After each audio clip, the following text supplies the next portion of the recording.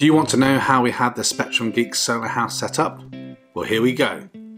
On the main house, we have 30 Peimar solar panels. Each of these are 300 watts, giving us a 9 kilowatt solar array.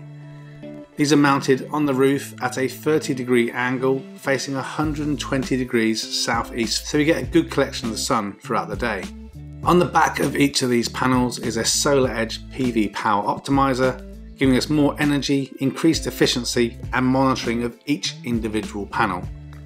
These all connect back to a Solar Edge 6 kilowatt HD wave inverter and we also have the Solar Edge energy meter with Modbus which gives us slightly more accurate meter readings and the ability to limit our export values if needed.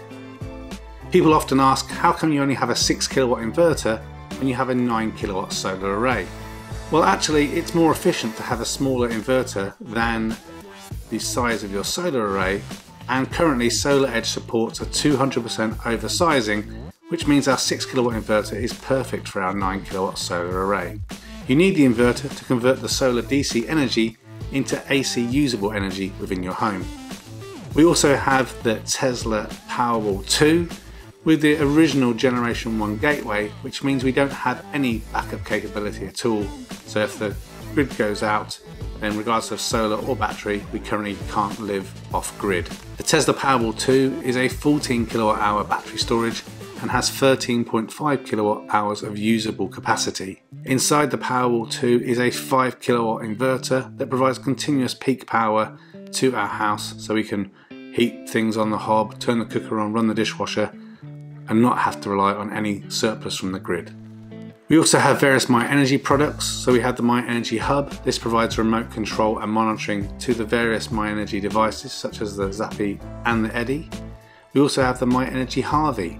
This provides wireless CT clamp connectivity to the Zappi and Eddi, so we don't have to have the trouble of running cables directly to those devices which are some distance away from our main electricity connection. We have the Generation 1 Zappi. This provides us with 7 kilowatts of EV charging to our cars as well as automatic solar diversion so we can redirect solar uh, when the battery is full from the house to charge the car as well as heat hot water with our Generation 1 Eddi, which provides heat via a 3 kilowatt immersion heater.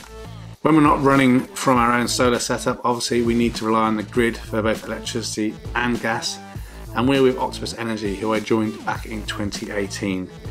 They're definitely not perfect but they're one of the best energy suppliers I've ever had the pleasure of working with, I guess, or paying my energy bills to.